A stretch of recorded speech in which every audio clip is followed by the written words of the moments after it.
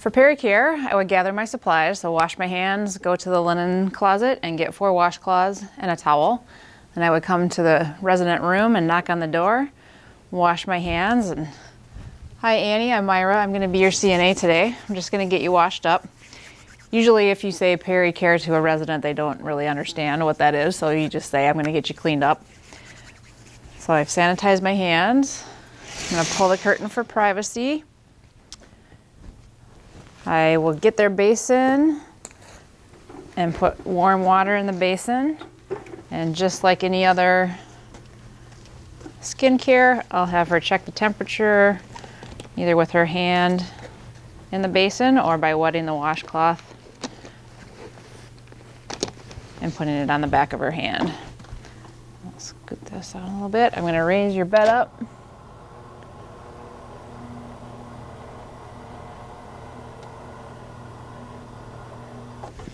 Get my gloves on.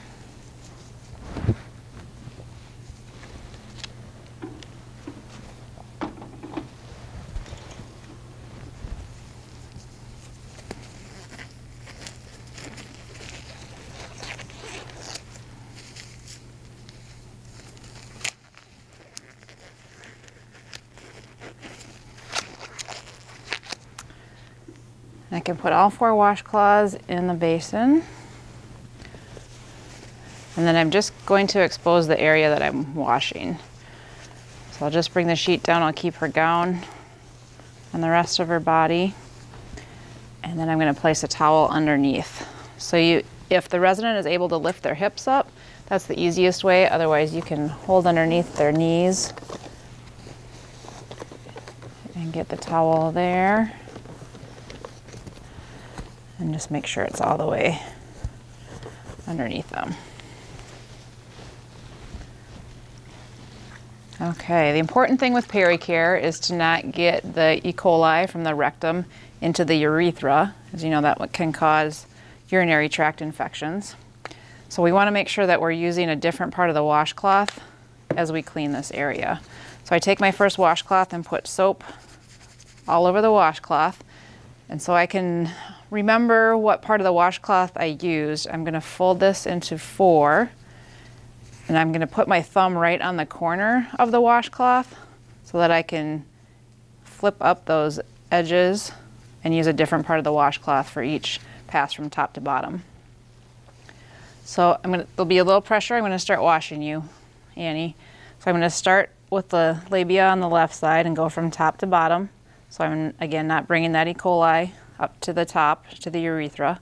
I'm going to flip to the next part of my cloth and get the groin fold and the labia on that side. I'm going to flip again and then I'm going to open a little bit, get the left side and the right side.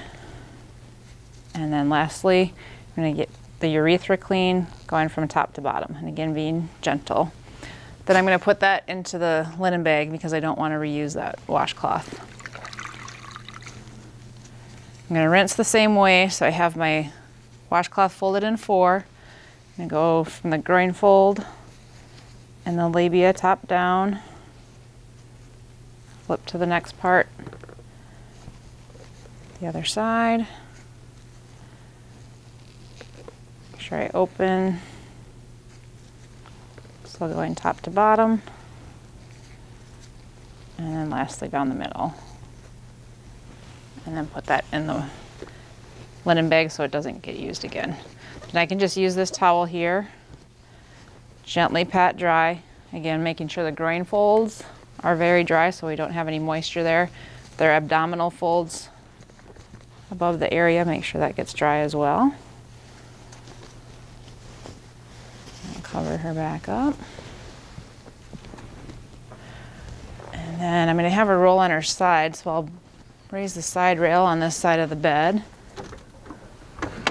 And that can be done before I start care as well.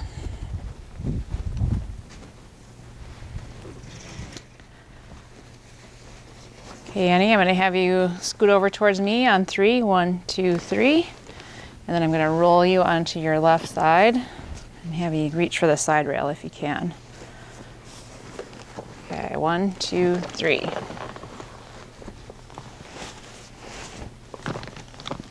You okay? So I still have the towel covering the bed.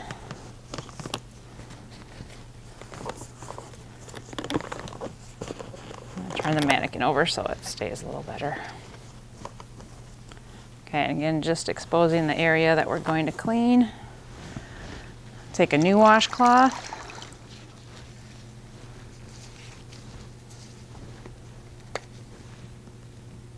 Add soap to that entire washcloth. I'm going to do my four corners again and again hold with my thumb where the corner is and so I can flip up that way.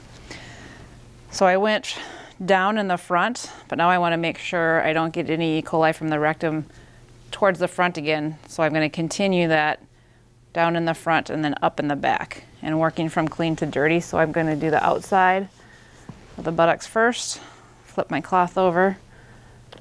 So we're always going in the motion from urethra towards the rectum.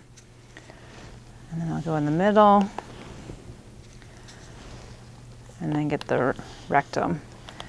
And this may take several passes if um, they have had a bowel movement. You can also use disposable wipes at this point. It's a little bit easier um, than using several washcloths, and those will just go into the um, the wastebasket right away. Um, and if they're large, you can do the same thing and fold it and use different areas of the disposable wipe as well. So we'll rinse the same way. I'll keep my thumb on that corner. Still going urethra to rectum. And on the outside, so we're working from cleanest to dirtiest. So we know the dirtiest part is the rectum. So we're gonna do that last. Flipping my cloth each time, going from front to back, getting all the soap out. Again, you should be noticing if there's any reddened areas, the coccyx is probably the primary place where skin breakdown happens.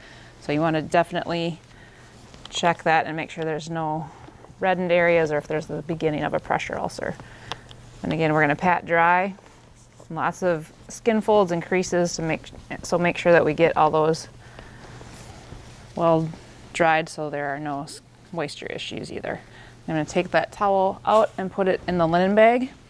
So since my hands are dirty, I've just performed pericare. If the resident is okay on their side for just a moment, it would be good to take your gloves off. Otherwise, you can just have them roll onto their back and get your gloves off and sanitize because you don't want to take your E. coli gloves and touch around all the bed and the resident. Okay. All right, Annie, I'm going to have you roll back using the lift sheet.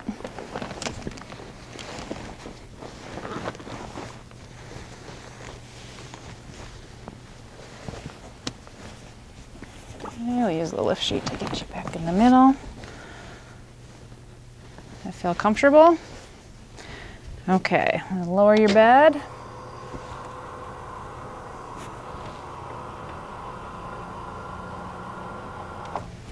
Make sure it's locked.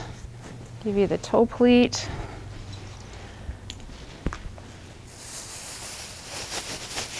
The linens off of there. We're going to lower the side rail.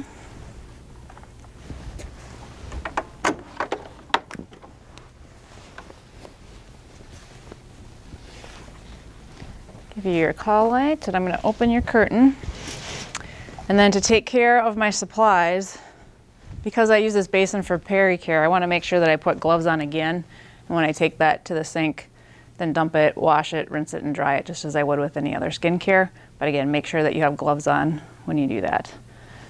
I open the other curtain, wash my hands again, and then report any skin conditions to the nurse.